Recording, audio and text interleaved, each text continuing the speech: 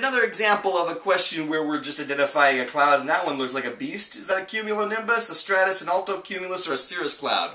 Oh, I hope you get this one right. Make a choice from those four options and get some feedback before you move on to our final question.